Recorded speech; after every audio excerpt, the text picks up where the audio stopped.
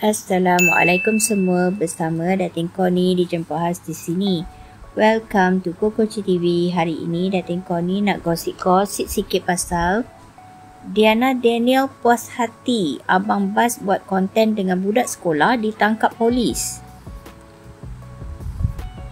Seorang pemandu bas lelaki yang memuat naik video membuat konten crush bersama penumpangnya yang merupakan murid sekolah sudah ditahan polis pada pagi Jumaat. Berikutan berita penangkapan pemandu bas tersebut, pelakon Diana Daniel meluahkan rasa puas hati dengan tindakan pihak polis berhubung isu ini. Menerusi sebuah posting di Instagram, Diana berkata dia berasa berang sebaik sahaja mendengar alasan yang diberikan pemuda berkenaan. Ibu kepada dua orang cahaya mata ini turut menegaskan tindakan merakam wajah kanak-kanak tanpa kebenaran tetap merupakan satu kesalahan. Sebagai ibu, saya puas hati dengan tindakan polis tentang isu pemandu bas yang sibuk rakam video pelajar ya, yang dia suka sangat tu. Walaupun dicakap itu sebenarnya anak buah dia, kita pun dah tengok kebelakangan ni keluarga rapat pun tak boleh dipercayai. Banyak kes haruan makan anak apa yang Abang Bas itu ingat, dia boleh anggap anak buahnya sebagai objek seksual dengan alasan nak buat konten saja.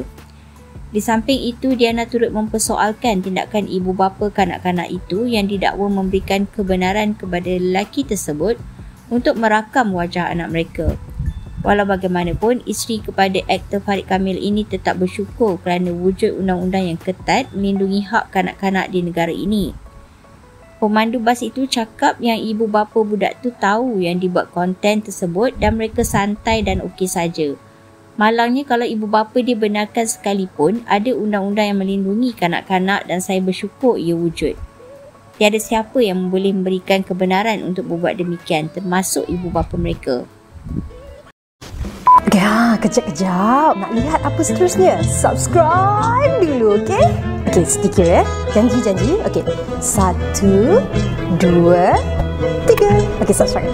Terima kasih. Dengan sumpahan mulut aku. Cik Kihah nak pesan sikit ni. Rujukan kami ambil ni adalah dari artikel yang dipetik di media hiburan. Hati-hati ya nak pilih kesahihannya.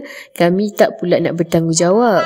Cik Kihah suggest anggap sajalah semua ni sebagai hiburan dan bukan sebagai satu gosip yang boleh disampaikan di tingkap jiran-jiran.